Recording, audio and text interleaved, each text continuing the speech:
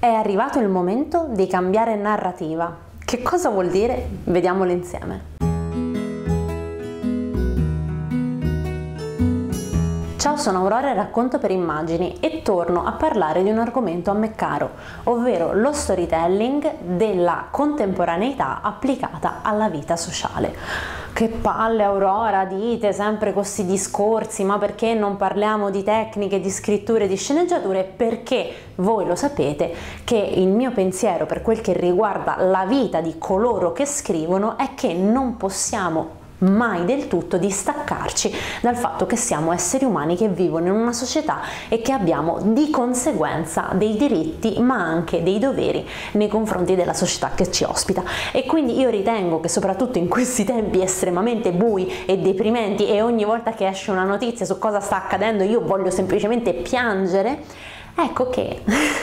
cerco con quel poco che posso di condividere con voi quello che è il mio pensiero, ma non solo il mio, perché ovviamente io posso essere megalomane, ma tutto quello che io vi propongo esce da mie riflessioni, ma anche da riflessioni di studiosi, scienziati e sociologi, il cui pensiero io condivido. Perché se posso un minimino cercare di essere un influencer e di influenzare il vostro pensiero,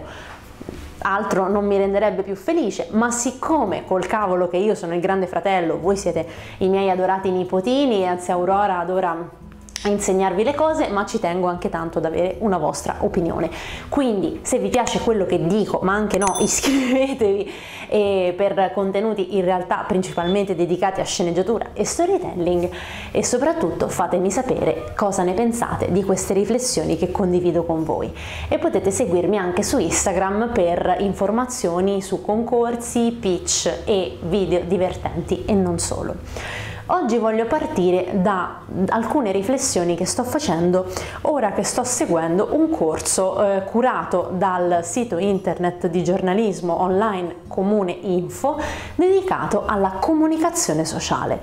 Voi sapete che questo è un tema che mi tocca molto da vicino, ovvero la possibilità proprio di raccontare i territori e i territori possono essere veramente qualsiasi cosa, possono essere comunità molto piccole ma anche comunità molto grandi.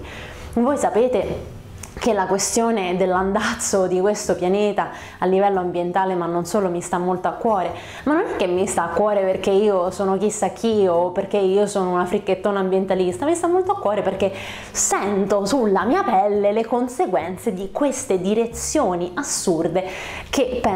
stiano, in cui penso stia andando il mondo. E mi piace molto la possibilità di provare a vedere con voi se esiste la possibilità di fare qualcosa. Ma ecco che appunto, e secondo me già alcuni di voi vi ho persi per la strada, se siete arrivati fino qui dite io ce l'ho fatta ad arrivare fino qui, ditelo nei commenti,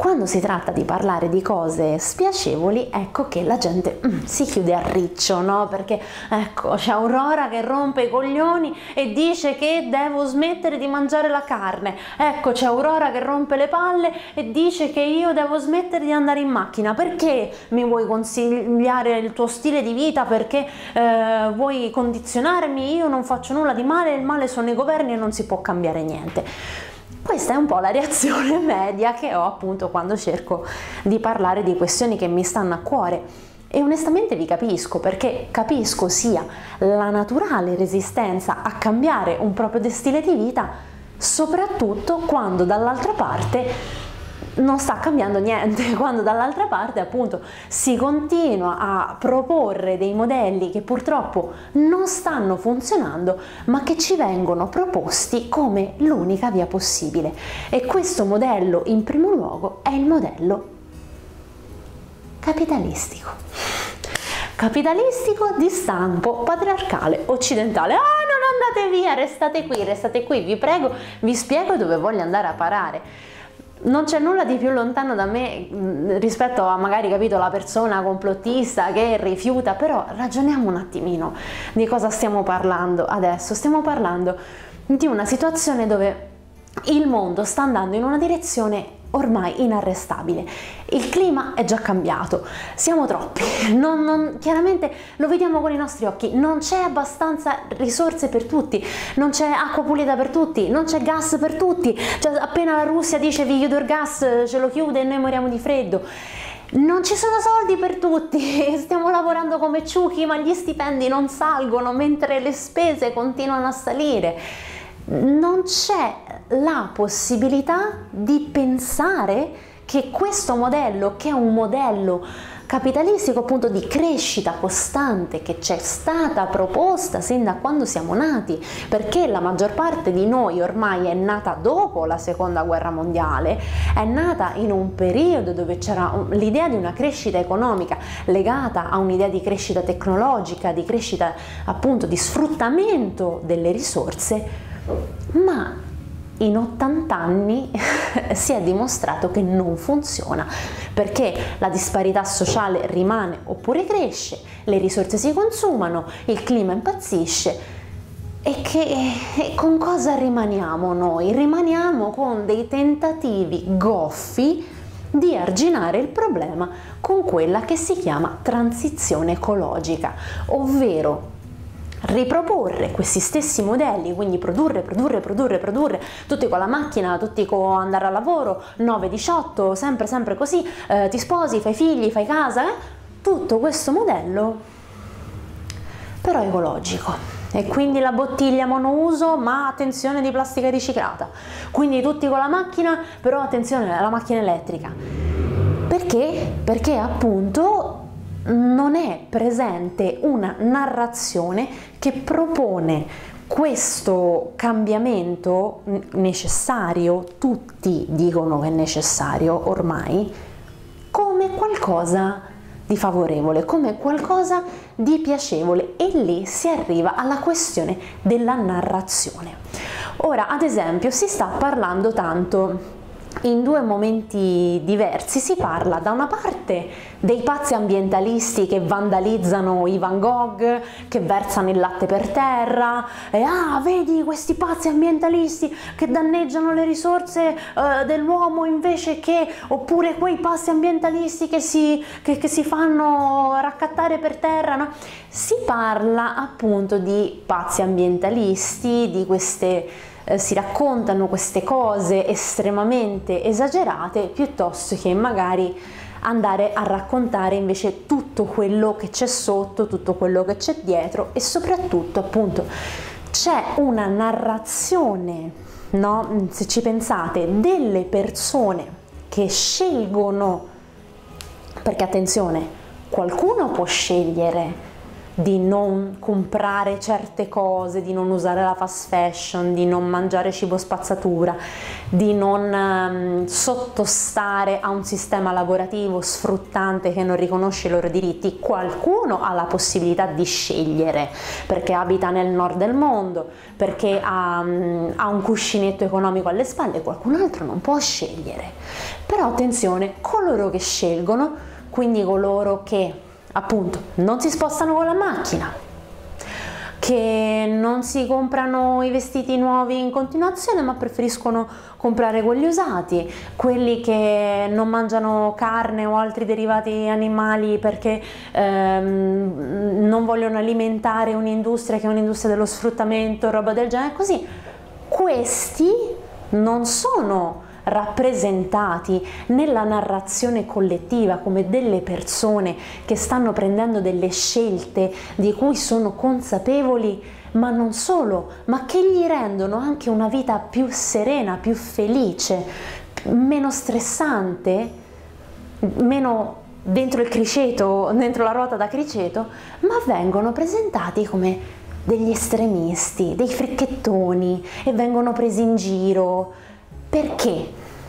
Perché appunto Uh, il modello dentro cui ci muoviamo, dentro cui siamo vittime, quindi un modello che vuole che noi lavoriamo costantemente perché dobbiamo avere soldi, perché dobbiamo avere la macchina, dobbiamo avere la casa, dobbiamo avere figli, dobbiamo consumare, consumare, consumare, questo modello si alimenta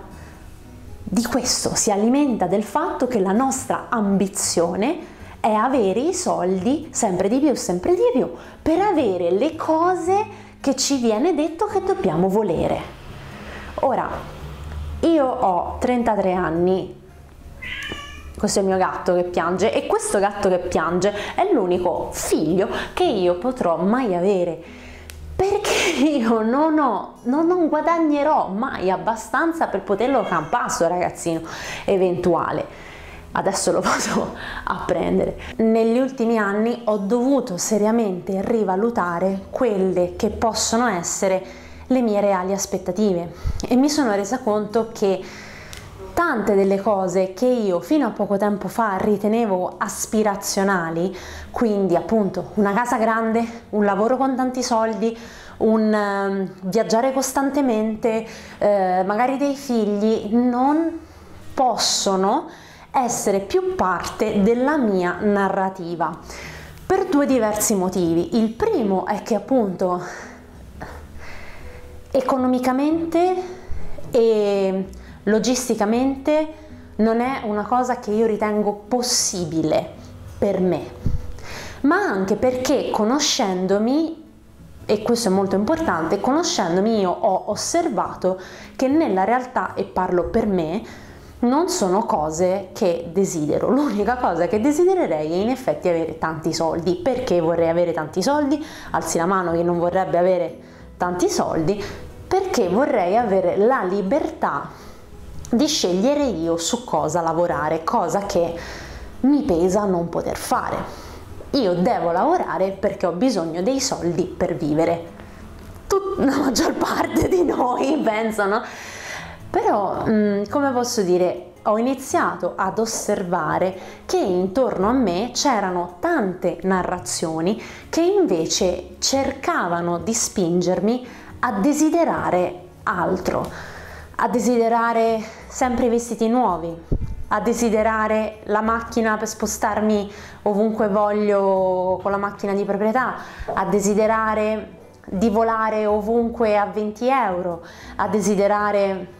di uh, avere sempre trucchi e uh, sempre una vita molto glamour. Questo io magari a un uomo gli viene chiesto, cioè questa narrazione gli propone altri tipi di desideri, tra questi c'è anche chi appunto ti spinge a desiderare ad avere un figlio, ad esempio, ma come un figlio non lo fai, ti dicono, se sei magari in una relazione stabile ai più di 30 anni.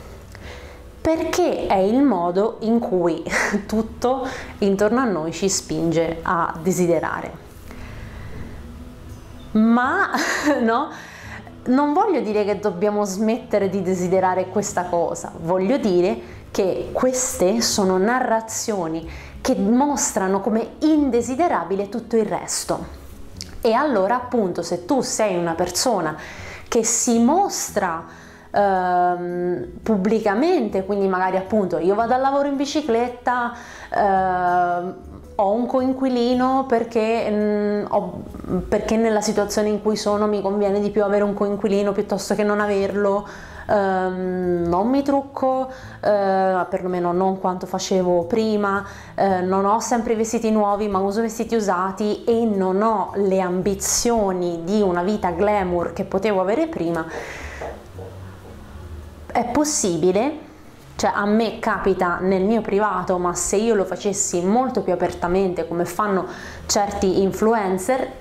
che le critiche mi potrebbero piovere a, a goccia, così come le critiche stanno piovendo ad esempio intorno a un certo tipo di di avvenimenti che sta accadendo eh, soprattutto negli Stati Uniti ma anche in altre parti del mondo. Dopo quella che era stata eh, chiamata The Great Resignation, quindi il grande licenziamento, eh, che ha visto tantissimi impiegati dopo il Covid licenziarsi perché lo stare a casa, questo soprattutto negli Stati Uniti dove c'è una concezione del lavoro molto tossica, gli ha fatto capire che era un equilibrio vita-lavoro che non era un equilibrio, che lavoravano tantissime ore e, e che gli stava risucchiando la vita, fondamentalmente queste persone hanno iniziato a licenziarsi. Adesso sta accadendo un'altra cosa che viene chiamata quiet quitting, ovvero smettere in silenzio, che in realtà altro non è, e vi lascio qualche video che ne parla, di mh, mm, impiegati che non è che smettono, non è che non lavorano, ma semplicemente smettono di fare di più di quello che dovrebbero fare, si limitano a fare quello che dovrebbero fare l'impiegato ministeriale diventano praticamente, no? Che voi potreste dire, beh, che c'è di strano, è normale fare quello per cui devi fare, sei pagato, ma non solo. Ni. Perché ad esempio io conosco tante persone che fanno costantemente gli straordinari e non vengono pagati, che salgono di responsabilità e di posizioni ma questo non corrisponde un aumento di stipendio o un riconoscimento ufficiale all'interno della gerarchia aziendale. Perché questo è il succo, cioè continuare a presentare questa situazione come una situazione dove ah, i giovani non hanno voglia di lavorare, i giovani non hanno voglia di fare figli, i giovani non hanno voglia di sacrificarsi. Io vi invito a provare a vedere le cose in un'altra prospettiva e provare magari a dire i giovani stanno quei giovani che perlomeno lo fanno stanno magari cercando di presentare dei problemi che sono dei problemi sistemici. Sono dei problemi sistemici a livello di contratti, a livello di stipendi, a livello di stile di vita. I giovani che stanno iniziando a ribellarsi a queste narrative che appunto sono la narrativa dell'ufficio, della casa, dei figli, della macchina, della città, eh, di, di quello che è stato fino a poco fa sono dei giovani che si sono resi conto che questo stile di vita in realtà non è sostenibile, non è sostenibile per il pianeta, non è sostenibile per loro stessi a lungo termine perché ci si ammala, ci si ammala a lavorare sempre, a stare sempre di fronte al computer, a, a fare questo stile di vita dove eh, devi stare costantemente dentro la macchina nel traffico per andare da una parte all'altra e comprare il cibo del supermercato, cioè la gente ci si ammala e non è sostenibile a livello della società perché è un sistema che si limita a eh, garantire la ricchezza delle persone più ricche e a tenere povere le persone più povere. Quindi forse piuttosto che dire ah i giovani rompono le scatole, non si vogliono adeguare e non vogliono lavorare, io proverei a metterla magari un Forse quelli che non sono più giovani non riescono a pensare che ci possa essere un'altra narrativa e un'altra realtà possibile. E quindi ritorno a bomba. Per quello che ad esempio riguarda noi, noi che scriviamo, io penso che sia fondamentale anche approcciarci a, siccome appunto, come abbiamo detto all'inizio, le persone si ribellano di fronte al cambiamento, si ribellano all'idea di qualcosa di spiacevole e purtroppo il cambiamento climatico sta avvenendo anche giustamente presentato in delle chiavi molto angoscianti, ma se invece noi provassimo a presentare queste alternative come aspirazionali, quindi appunto personaggi che vanno in bicicletta, personaggi che hanno uno stile di vita che non è in linea con quelli che sono stati quelli che finora noi abbiamo visto e che raccontiamo la nostra storia, noi che magari la viviamo non come un sacrificio, ma come qualcosa che semplicemente è diverso e dentro il quale noi troviamo delle alternative, perché nei fatti noi non siamo ragazzi, non siamo dei robot, non siamo nemmeno dei campioni che devono fare tutti uguali, che dobbiamo avere tutti la nostra vita. Ognuno ha, ha una vita diversa e degli obiettivi e degli interessi diversi e dobbiamo allenarci a capire cosa ci piace e cosa non ci piace, ma io nel fare ciò vi incoraggio anche a guardare oltre no? quello che, che, è quello che è il vostro conosciuto, a sperimentare ad esempio che cosa potrebbe voler dire. Provare magari sto un mese e non mangio carne, vedete, ma cioè, dopo un po' probabilmente no, non ve ne accorgereste nemmeno, oppure ah, mm, fammi, fammi, andare una volta a vedere com'è un negozio di vestiti usati e magari andate lì e scoprite che ci sono dei vestiti che vi piacciono,